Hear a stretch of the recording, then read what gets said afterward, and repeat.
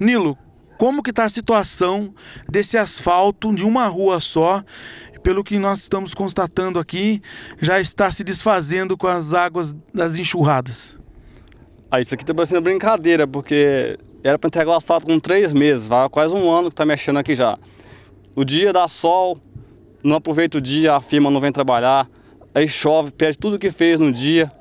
Tá aí, passou aqui o, aquela água preta, pó de picha aqui, ó para passar o asfalto. Já perdeu tudo, foi tudo embora pro, pro fundo lá. Daí tá um estado de calamidade. Tá, para passar aqui de a pé não dá. Aqui situação também aqui da curva aqui ficou um perigo constante aqui. Daqui a pouco vai bater carro lá dentro do boteco do, do, do, João lá, ó.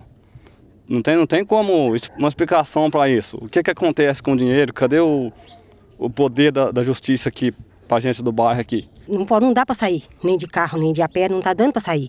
Se você sai, está seco, é o, a, a, o pó, você volta, está no barro. Então, é um sofrimento para todo mundo. Todo mundo que, tá, que mora aqui na Nova Rio Claro está sofrendo.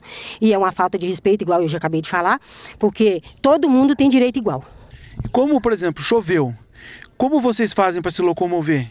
É na lama mesmo? Na lama mesmo, é na lama. E é um sofrimento, porque tudo que a gente vai resolver tem que ir lá no Palmeiras. Então não tem uma padaria, não tem um mercado, não tem nada aqui. Então é sofrimento e sofrimento para todo morador. Vou fazer um convite para você me mostrar como vocês fazem, que eu também quero colocar o pé na lama. Você então, topa? Vamos lá. Vamos, vamos, vamos. Então vamos.